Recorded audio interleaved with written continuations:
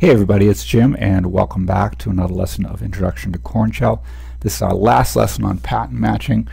Afterward we go into some more useful things. Last time we went over the asterisk parenthesis parenthesis which was an optional pattern matching and what it said was that anything inside the parentheses is optional.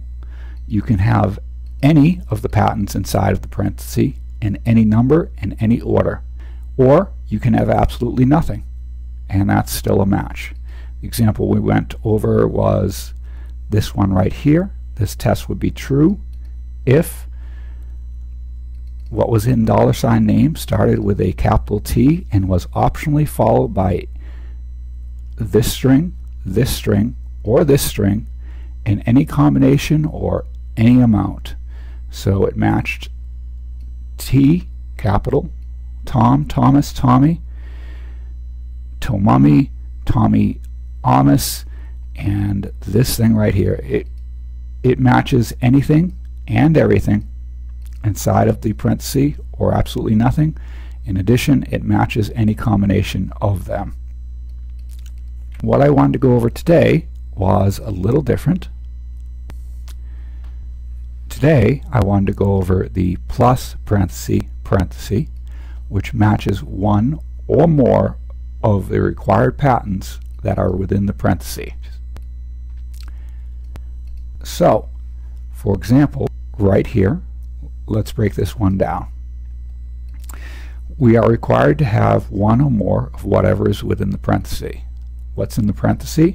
The lowercase a through lowercase z choice. This expands, which is within the square brackets. And as you remember, the square bracket means choose one of whatever is within inside of it.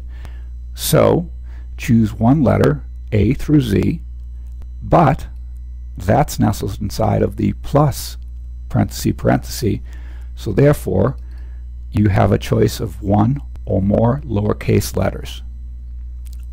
Because the plus means one or more of whatever is within the parenthesis, and what's in the parenthesis? The choice of A through Z lowercase. This right here is a very similar example. It says one or more of a choice of 0 through 9 and therefore that will match 0 through 9 one or more characters of it. The thing I want you to notice though is that it's not truly going to match numbers because it will match 0008 which in most cases you would not really define as a number. It will match 91, it will match 0. So the example I wanted to use for this was this. We ask a person to enter a word in and it's stored in the variable answer.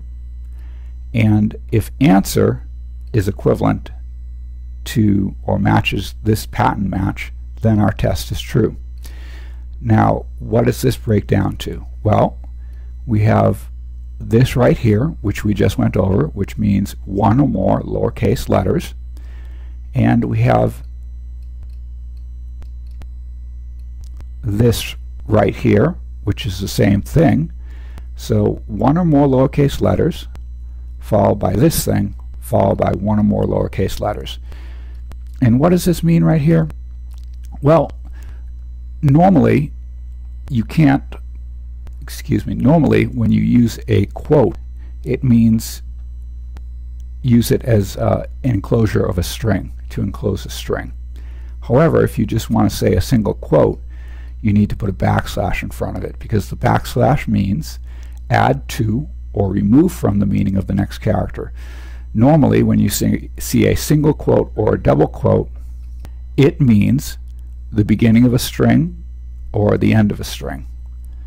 However, when you put the backslash in front, it just means a single quote. So this would match letters followed by a single quote followed by letters, which would look something like a contracted word. So if somebody enters the word don't, this test would be true, and we would go down inside of the then defy portion and we would print out contraction. Or if somebody entered the word oh o'clock all in lower all in lowercase, then this test would also be true. And we would go down to here. So once again, the plus parenthesis parenthesis matches one or more of whatever is within inside of the parenthesis. The next thing I wanted to go over was this right here. The not parenthesis parenthesis. It will match anything except what is inside of the parentheses. And I do mean anything. If you want an easy explanation of it or an easy way to remember it, think of it as it matches the asterisk minus the excluded patterns. And as you remember, asterisk matches anything or nothing. This test is true if